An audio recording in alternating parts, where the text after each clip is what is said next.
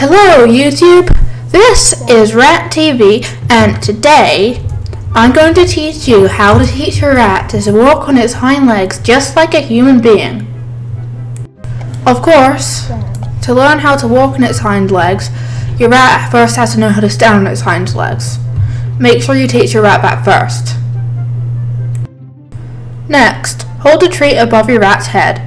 Then, move it forwards. Your rat should follow the treat. If she doesn't, try again. When she does, say human.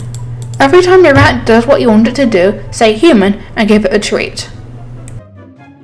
At first, your rat will not walk on its hind legs. This is normal and okay for now. You want them to learn to follow the treat.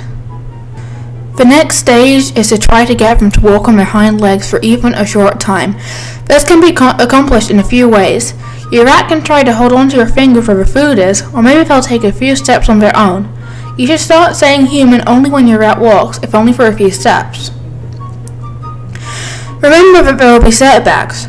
If your rat is confused and doesn't understand what you want them to do, go back a stage and try to get them to understand that to get a treat they will need to walk on their hind legs.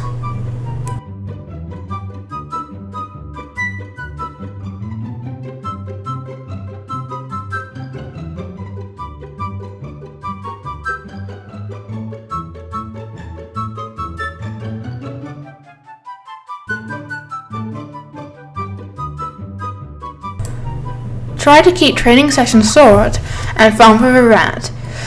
Walking human style is a new concept for your rat to grasp, so don't expect them to get it the first time. Your rat won't forget everything just because a day or a few hours has passed between training sessions.